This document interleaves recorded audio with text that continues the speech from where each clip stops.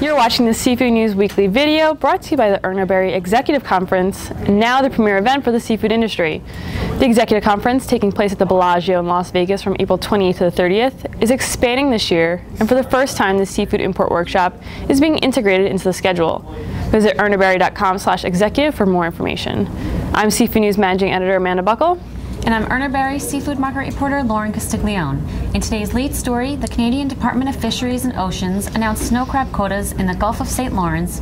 The increases were largely in line with industry expectations and the department's prior guidance. Crab quotas will increase in almost all areas of the Gulf, but principally in Area 12, which covers the southern Gulf. Last year's quota was 24,613 tons, down substantially from the record levels of 2017, when the quota was 43,822 tons. However, good recruitment has pushed the quota up again this year to 32,480 tons. This is nearly an 8,000 ton increase over 2018. And speaking of snow crab, Urner Barry market reporter Janice Schreiber is reporting increased snow crab volume in 2019. Total imports of all snow crab into the U.S. market for 2018 ended the year down 11.1%. Most notably out of Canada, imports into the U.S. market were down 21.8%. Canadian snow crab was down 17.6 million pounds compared to last year. Russia, however, saw a 39.8% increase to finish out 2018, thus placing an additional 6.3 million pounds than they had in 2017. Russia also continues to see strong imports through January of this year, up 33% with 1.6 million pounds coming in that month.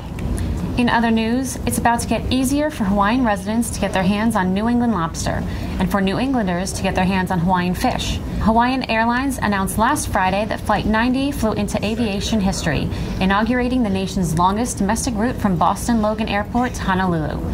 In making that inaugural flight was none other than one and a half tons of live lobster. The flight from Honolulu to Boston is a little over 5,000 miles. For those traveling from Honolulu to Boston, the flight will take nearly 10 hours.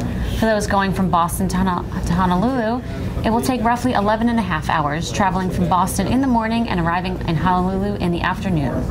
Excuse me while I book my flight, but before I ditch Lauren in chilly New Jersey for Hawaii, our final story of the day reports that signs are pointing to no Sitka Sac Roe herring season this year. Although the Alaska Department of Fish and Game has not announced the season open or closed, there are now increasing indications that there will not be a Sac Roe herring fishery in Sitka this year. It's not that the herring aren't there, it's that they're too small. Average sizes, uh, average sizes, according to some processors in the area, have been 92 grams, short of the traditional target of 110 to 115 grams and far short of last year's standard of 125 grams. Lainey Welch of Fish Radio reports that the latest Sitka herring fishery ever occurred on April 15th in 2002. Meanwhile, the last time a fishery was ever called off was in 1977. And that wraps up our news for the week. Be sure to head over to seafoodnews.com or visit the Seafood tab in Comtell for a comprehensive look at the latest market and industry news. And don't forget to listen to a new episode of the Seafood News podcast released on SoundCloud and iTunes every Monday. Thanks for watching and you be well.